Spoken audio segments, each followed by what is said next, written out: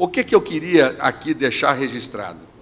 Nós, acho que estamos caminhando, e acho que está muito claro o seguinte: o mercado sendo o, o, o regente de tudo, está provado que isso não funciona. Está claramente provado que isso não funciona. É, vamos analisar um, um, um, assunto, um caso específico.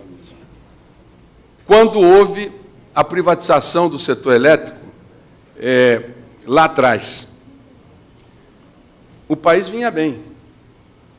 O que, que faltou? Faltou uma ação do Estado no planejamento de médio e longo prazo para o país. O racionamento de energia que aconteceu em 2001, no momento excepcional do Brasil, ele aconteceu não pela, pelo processo em si de é, é, concessões, de lei de concessões, de participação privada, mas é porque existem algumas coisas que o Estado tem um papel fundamental.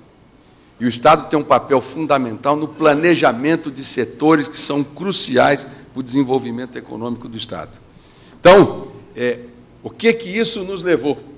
Levou, inclusive, em 2003, a aprovação de um projeto onde nós não eliminávamos aquilo que tinha sido desenvolvido, mas nós resgatávamos algumas questões que são inerentes ao Estado. Porque o Estado precisa dirigir algumas, algumas, alguns setores que, sem dúvida nenhuma, vão influenciar no futuro do nosso país. A crise econômica que surgiu em 2008, ela é eminentemente uma crise de um mercado sem nenhuma regulamentação. Então, hoje, nós caminhamos o quê? Nós caminhamos para um processo, efetivamente, de parcerias público-privadas. Não há como não fazer isso. Lá atrás, quando começaram as primeiras parcerias, ainda nesse decreto 911, como é que foi feito? O Estado não tinha mais dinheiro. E é o que está acontecendo hoje. O Estado não dá conta mais de fazer investimentos. Então tem que aproveitar a iniciativa privada, tem que aproveitar esse, esse momento em que as pessoas existem recursos lá fora, a Europa está parada, os Estados Unidos está parado, e tem dinheiro para se investir, mas capital de longo prazo, não capital oportunista.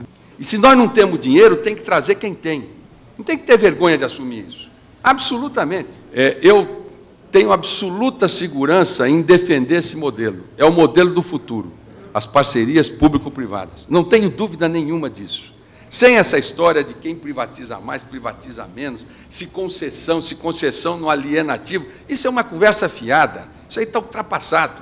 Nós temos que aproveitar essa oportunidade e agregar essa tecnologia, esse conhecimento, recursos da, da, da, iniciativa privada, junto também com o conhecimento e a tecnologia das empresas. E para mim, infraestrutura, FIFI, não tem ideologia. Infraestrutura, ela existe ou não. Como o Estado não tem condição, tem que trazer a iniciativa privada. Como tem dinheiro sobrando por aí, o Brasil é um país atrativo, nós temos que trazer capital de longo prazo. Nós temos que olhar meio ambiente para dar rapidez nesses projetos, nós temos que olhar a Lei 8666 e consolidar as PPPs.